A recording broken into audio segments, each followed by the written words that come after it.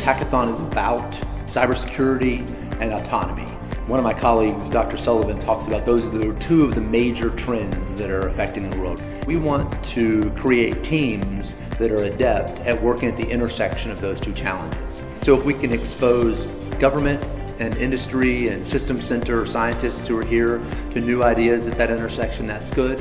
And if we can get a whole new crop of people who think that our problem set is interesting and they bid do work with us, then we'll have a much more diverse ecosystem of people trying to solve two of their countries in the world's most pressing problems.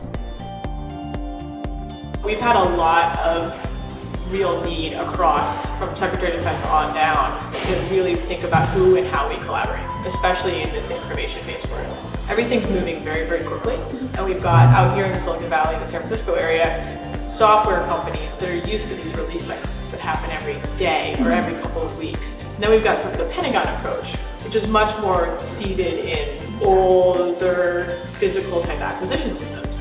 So, you know, this hackathon is an opportunity to introduce one world to the other world in a really tangible way where they can actually co-develop on a problem. Well, you know, my job as Undersecretary, I'm sort of the COO of the Navy, so I, I, am at the policy level. one of the reasons why I wanted to come out here is so that I could, I could meet the people that are actually trying to get these technologies into the hands of the warfighters so that I can see, you know, what are your problems? What kinds of things are in your way? Things that sort of inhibit their ability to be innovative and quick. And so we're going to take this back to the Pentagon and kind of try to do a scrub of where can we cut some red tape? Where can we find processes that are not working for the autonomous systems development um, and other technologies, really?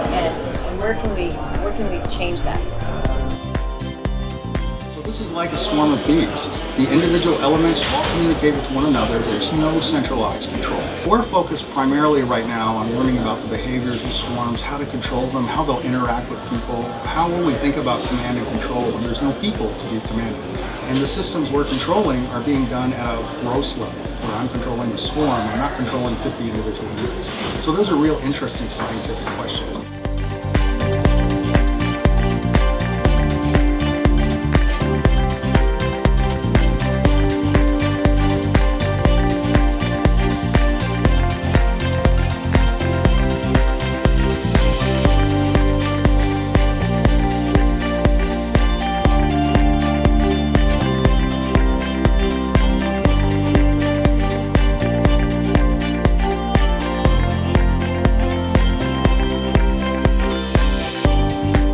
We spent over the last three to four years uh, maturing our innovations practice, uh, specifically in iHubs all around the country. Over the last 11 months, um, I've just tried to foster relationships between uh, the Department of Defense and the Silicon Valley startup community. We had people from academia, from the Defense Department, from Army, Navy, Air Force, um, who all just cared about these tough problems that we worked on